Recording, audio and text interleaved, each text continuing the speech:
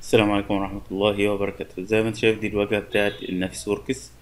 ال Navisworks بيديني بعض الإمكانيات الحلوة جدا في clash detective يعني بيقدر يكشف لي مشاكل وأقدر أحط قواعد لاكتشاف المشاكل وأقدر أطلعه report شكله جميل وفيه صور وفيه معلومات عن كل clash فبيبقى تقرير كويس جدا تقدر تناقشه في الاجتماعات.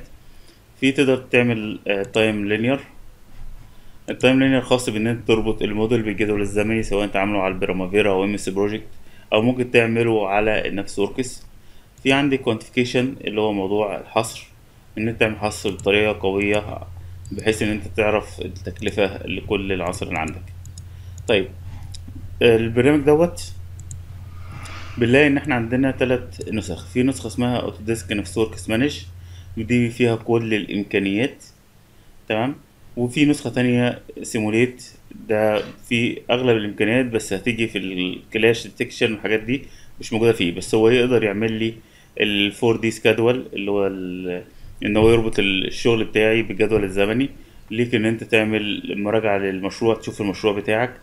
ليك إن أنت تشوف 3 D visualization وتشوف الموديل بتاعك. في نسخة تانية free دي مجاني ما فيهاش أي مشاكل خالص تقدر تسطبها عندك.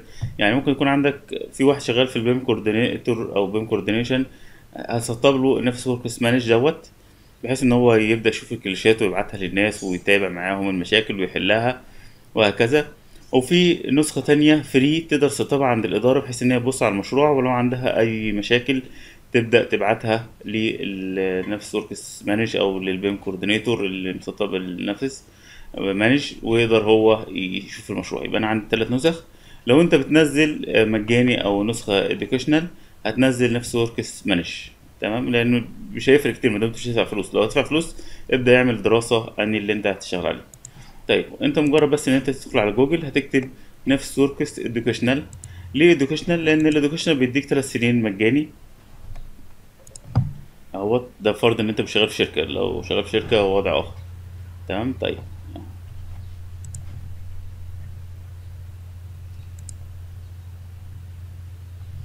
طيب أول حاجة تعملها ساين ان تبدأ تسجل في تكتب الاسم بتاعك والإيميل.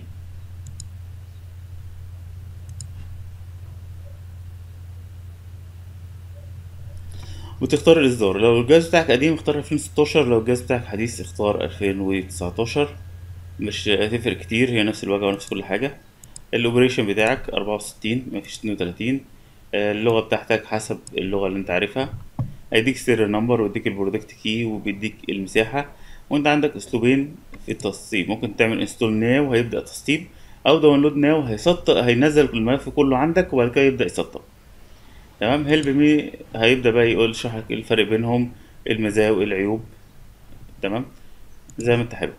طيب بفرض إن أنا بعد ما سطبته ما طلعليش المفروض إن في حاجة بتسطب جوه ال Revit أقدر من خلاله أصدر الشغل بتاعي ل Navisworks تمام؟ يعني بتيجي هنا في ال Revit بتلاقي هنا في ال add-ins external tools بتلاقي أداة اسمها Navisworks 2018 وفي حاجة اسمها Navisworks SwitchBack اللي هنا Navisworks 2018 دي أداة بتلاقيها جوه ال external tools اللي موجودة في ال add-ins طيب لو هي مش متسطبة لأي سبب من الأسباب ممكن تكون أنت سطبت ال Navisworks وبعد كده سطبت ال Revit بنلاقي حاجة اسمها Navisworks NWC export utility بيبدأ يديك الأداة. أول ما تسطبها تظهر لك طريقة للتنصيب من ال من ال ال Navis ال Navisworks من ال Revit ل Navisworks هنا بيقول لي اختار طيب هنا ممكن أقول له أنا عايز أعمل export عندي كل الإصدارات ديت تقدر تسطب أي واحدة فيهم حسب اللي أنت محتاجه. تمام؟ يعني ممكن تسطب دي مثلا. هيروح مسطبه جوه ال Revit. تمام؟ وبعد كده وإحنا شغالين على ال Revit تقدر تاخد الشغل بتاعك آه ال Navisworks فيه تلات امتدادات ان دبليو سي ان دبليو اف ان دبليو دي تمام؟ يعني لما تيجي كده في ال Navisworks وتقول له أنا عايز مثلا أعمل open بيديني تلات امتدادات في الأول خالص همت ان دبليو سي ان دبليو اف ان دبليو دي بقية الامتدادات ديت هو بيقدر يقراهم ويشتغل بيهم بدون أي مشاكل خالص. هتلاقي امتداد لل Revit وامتداد لل Rhino وامتداد لل ST لل SketchUp لل VRML لل FBX لل MicroStation كل الحاجات ديت. طب لو خدنا أول ثلاث حاجات البرامج بتسطب أو بتصدر Navisworks cache اللي هو NWC تمام؟ يعني كل ملف هتصدره هيصدره لك ان دبليو سي ال NWF دوت ده لما بتبدأ شغل وتبدأ تضيف معلومات. فبيبقى فيه ال NWF بيقرا ملفات ال NWC يعني انت ال NWC دوت عندك مثلا ال Revit معماري وانشائي وكهروميكانيكال. خلاص دول صدرتهم بقى NWC التلاتة دول.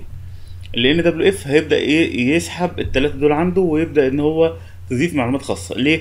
ال NWC هتصدر تاني لل Revit. عدلت حاجات في ال Revit فصدرت ال NWC زي ما نشوف مع بعض.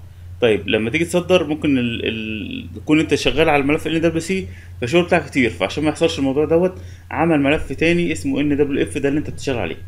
بعد كده في ملف NWD اللي هو document يعني كل مثلا شهر شهرين بتحول NWF أو NWC الملف انت شغال عليه ل NWD بحيث إن هو يبقى read only محدش يقدر يعدل عليه بس هو بيبقى موجود عندك على الجهاز كأرشيف أو archive بحيث تقدر ترجع إيه الشغل اللي انت كنت عامله من خلال 3 4 شهور اللي فاتوا؟